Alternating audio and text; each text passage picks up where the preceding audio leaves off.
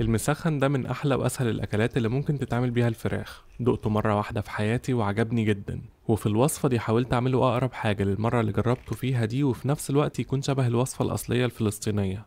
بدأت ب mix بهارات عبارة عن معلقتين كمون عليهم معلقتين فلفل أسود ومعلقة حبهان مطحون اللي هو الهيل ومعلقة قرنفل مطحون ومعلقة قرفة ومعلقة شطة.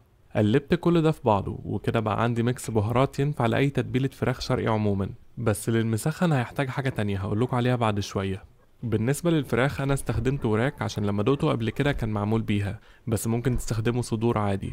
اتأكدت الأول إنها ناشفة كويس عشان الجلد يقرمش وغطيتها بشوية زيت زيتون وزيت الزيتون من المكونات الأساسية في الوصفة دي وهنستخدمه كتير فيها.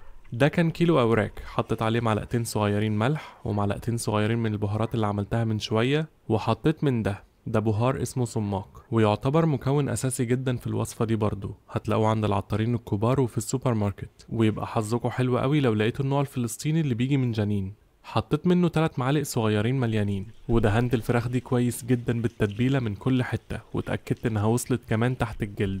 ممكن تسووها بعد كده بأي طريقة. أنا سويتها بإني حطيتها في الفرن على درجة حرارة 200 وهي بتستوي عملت البصل. والبصل في الوصفة دي مش حاجة بتدي طعم وخلاص لأ ده برضو مكون أساسي. عشان كده استخدمت منه كتير خمس بصلات كبار على التلات أوراق دول. وعادي تستخدموا بصل أبيض. أنا استخدمت بصل أحمر عشان اللون بس. قشرته وقطعته وحطيته في الكبة. في وصفات بتقطع البصل قطع كبيرة ووصفات بتقطعه جوليان. أنا عشان يبقى شبه المرة اللي دقته فيها قبل كده بشرته بشرة ناعمة شوية كده في الكبة. بس عادي ده حسب ما تحبه برضه وفي طاسة على نار متوسطة سخنت زيت زيتون زي ما قلتلكوا زيت الزيتون من المكونات الأساسية عشان في خطوة البصل دي بنحط منه أكتر من اللي بنحطه في العادي. لما سخن الزيت حطيت فيه البصل وفضلت أقلبه كويس باستمرار. لما البصل بدأ يدبل ويطرى ولونه يصفر بس قبل ما يتحمر حطيت عليه معلقة صغيرة مليانة ملح ومعلقة صغيرة من ميكس البهارات اللي عملته في الأول ومعلقتين صغيرين مليانين صماق وممكن تزودوا صماق عن كده كمان. قلبته برضو شوية. بعد كده حطيت عليه كوبايتين مية سخنين ومكعب مرقة. ده عشان أنا ما كانش عندي شوربة. لو عندكم شوربة حطوها بدل المية والمرقة اللي أنا استخدمتهم دول. سبت البصل يغلي على نار هادية لمدة عشر دقايق. كل فترة بس كنت بقلبه كده عشان ما يتحرقش من تحت. لما وصل للقوام ده اللي هو شبه الصوص كده شلته من على النار. وكده كان عدى نص ساعة من ساعة ما حطيت الفراخ في الفرن. ده كان كفاية قوي عليهم. طلعتهم من الفرن وشلتهم من الطاجن اللي سويتهم فيه. شايفين بقى الجوسز اللي نزلت من الفراخ دي؟ دي هنستفيد بيها برضو في الوصفة. العيش اللي بيستخدموه في الوصفة دي هو عيش الطابون. ده عيش فلسطيني بيتخبز على الزلط السخن. للأسف ما لقيتش أي مكان قريب مني بيبيعه فبدلته بالعيش الشامي. كنت بغطيه بالأول باللي في الطاجن من تحت ده بعد كده أبطن بيه الطاجن. الأقرب كمان من العيش الشامي لعيش الطابون هو عيش الصاج أو الرقاق الطري أو التميس أو حتى التورتيلا المكسيكي.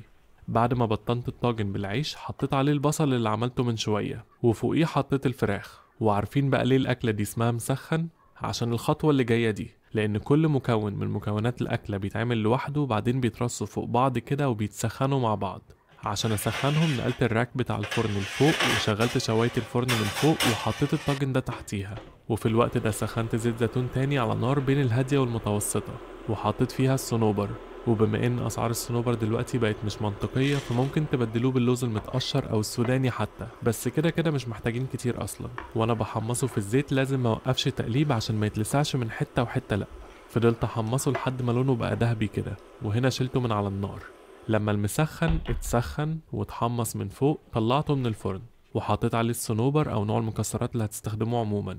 واللي أعرفه عن الأكلة دي وصححولي لو أنا غلطان هو إنها بتتعمل في طاجن كبير وكله ياكل منه. ده لإنها بتتعمل في أوقات العزومات واللمة عشان الناس تتجمع عليها.